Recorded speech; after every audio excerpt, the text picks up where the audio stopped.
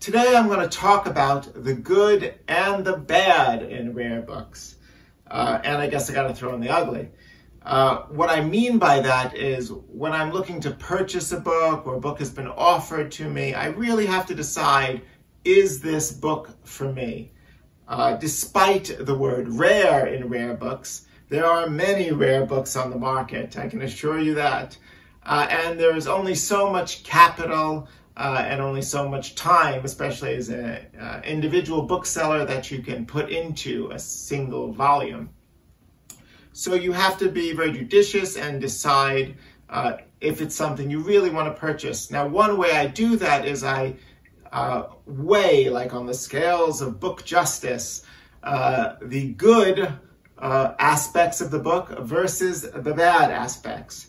Now, I don't mean that in the sense of a negotiation, like when you go to an antique dealer with your prized family possession uh, and he underscores uh, all of the uh, problems with the item at hand, its wear, its uh, the fact that it's common. Uh, meanwhile, he's calculating in his head uh, all of the good things about it in terms of its desirability, its artistry, and leading into profit. So I don't mean that type of negotiation, uh, but it is a sort of self-negotiation that I honestly do in my mind uh, when I'm looking at a book and I'm deciding, is this book for me?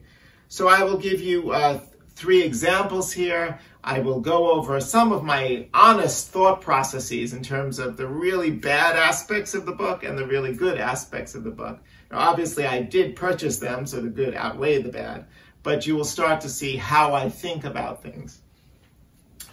Uh, this first book uh, is a book printed in the 1820s. Uh, it is a uh, little travel guide to the Isle of Wight, uh, and it was given to uh, a young girl who received from Queen Victoria a small piece of her dress and fashioned it into a book what are the bad uh, aspects of this book? Uh, for one, it's not a visually very appealing volume. It's a sort of a ratty uh, looking volume uh, in poor condition and the cover is starting to detach. Uh, it's quite dull, uh, even if the fabric was once vibrant. and unfortunately, it's not an important work. It's a very minor travel guide to the period it's also missing some pages to the book. Uh, so that can, of course, make it a very undesirable little volume. But simultaneously, I don't know if it's the left or the right side, uh, I was thinking of the positive aspects of the book. And for one, uh, the it's a very charming inscription about this young girl, 10 years old, Susan Cork, who was on the Isle of Wight in 1838, and she met Queen Victoria, who must have been truly enamored with her because she cut a piece of her dress, perhaps her summer dress, and gave it to this young uh, little girl. Uh, queen Victoria was a very young queen at that, uh, in 1838. She was on the throne for one year. Uh, the girl then took this uh, cloth and she fashioned it into a book binding. Uh, we tend to call these in the trade vernacular bindings. They've become very popular to study and collect. Uh, they're often made by women or at home, and they have a real homespun vintage quality to them, which is very appealing to the modern eye. This is no exception. It's just particularly charming, and the fact that it used a piece of fabric of the queen uh, makes it all the more interesting and fun. Uh, then the, the, the, inscription goes on that uh, later in that year she emigrated to America uh, and brought the book with her. And I could just imagine in my mind this 10 year old girl having met Queen Victoria and being given a small token of her affection. It must have been an extraordinarily treasured possession because you could not bring too much on uh, the boat. Uh, when you were emigrating, but she must have truly loved this book. It descended in the family, uh, and it has such a marvelous quality as an object and charm to it uh, that uh, those good qualities far outweighed uh, the bad. book number two. Uh, these are the uh, meditations or the soliloquies of St. Augustine. Uh, it was a book printed in 1577 in London by John Day, a well-known Elizabethan printer. Uh, when I first looked at this volume, again, it is in rather decrepit condition here. Uh, the text block is breaking, the binding is falling apart. It looks as if a, a, a rat chewed uh, to the bottom of the spine here. It's also sadly incomplete. Uh, and uh, I can tell you from experience, the neurons in my brain keep firing. Don't buy incomplete books. Don't buy incomplete books. I have always had a hard time selling them, even if I appreciate them. So uh, those are the bad aspects of the book. Simultaneously, I was thinking about the meaning of some of the uh, soliloquies of St. Augustine, which were very, received a very popular reception uh, in uh, Elizabethan England. Uh, they were printed in numerous editions. Uh, but what is particularly interesting about them is they had a profound influence on uh, not only uh, other uh, theological soliloquies and sermons of the period, but even more dear to my heart on uh, dramatic soliloquies, uh, which we perhaps think of in terms of Shakespeare and other great playwrights of the period. So they were a literary form that had a great influence uh, and I find that uh, very interesting. Uh, the other thing I really like about the book are these extraordinary woodcut borders. Uh, now, uh, memento mori are basically reminders of uh, the transience of life, that death is to come. And again, going back to Shakespeare, we think of one of his most famous lines, alas, poor Yorick, uh, holding up the skull. Uh, these borders contain almost innumerable memento mori.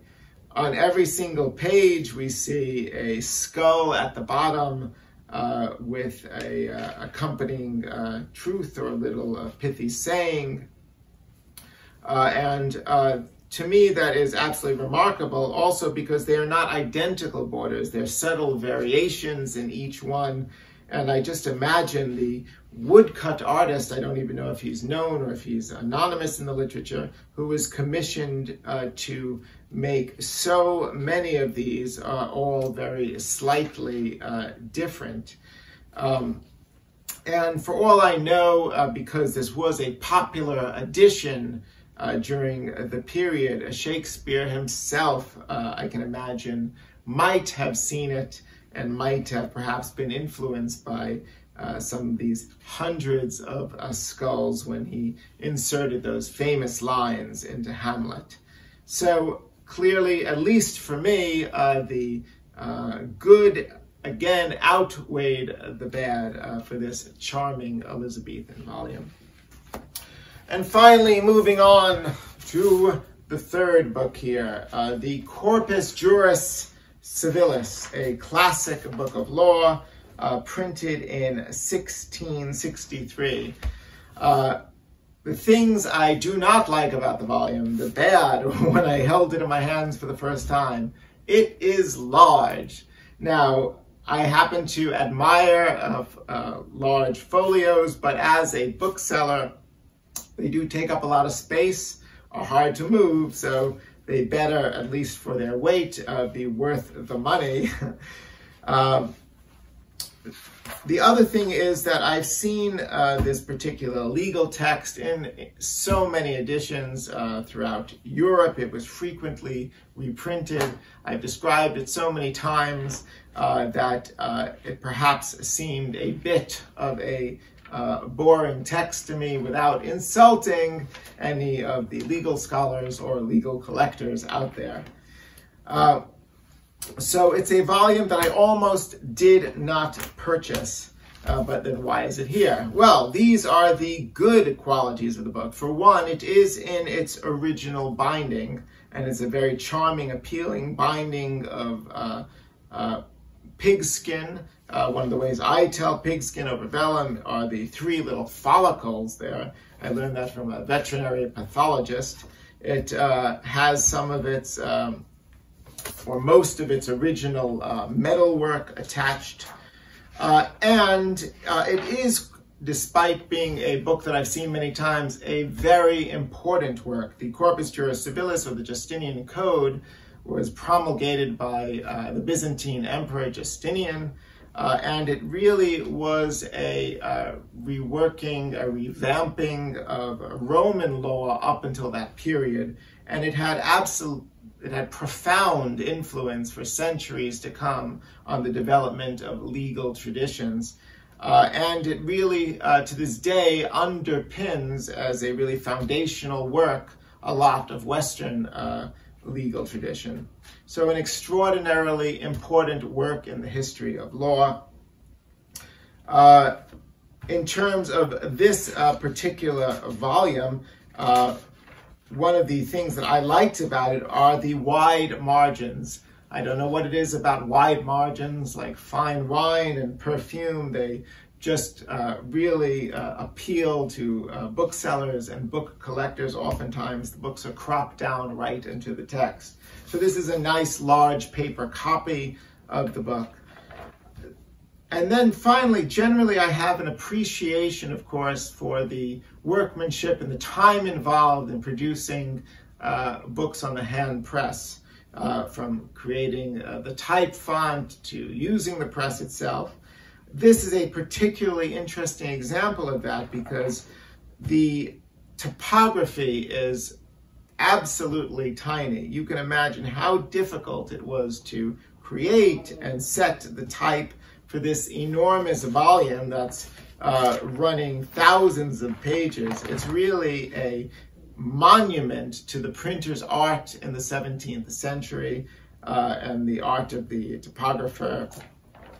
So uh, I could really appreciate this as a fine example of printing of uh, the period that I then sort of uh, fell in love with. So uh, that is why I purchased this enormous volume and now I just have to find some space for it. Um, and uh, I hope that uh, you will subscribe and I will share some other good, bad, and hopefully interesting things about the rare book business going forward.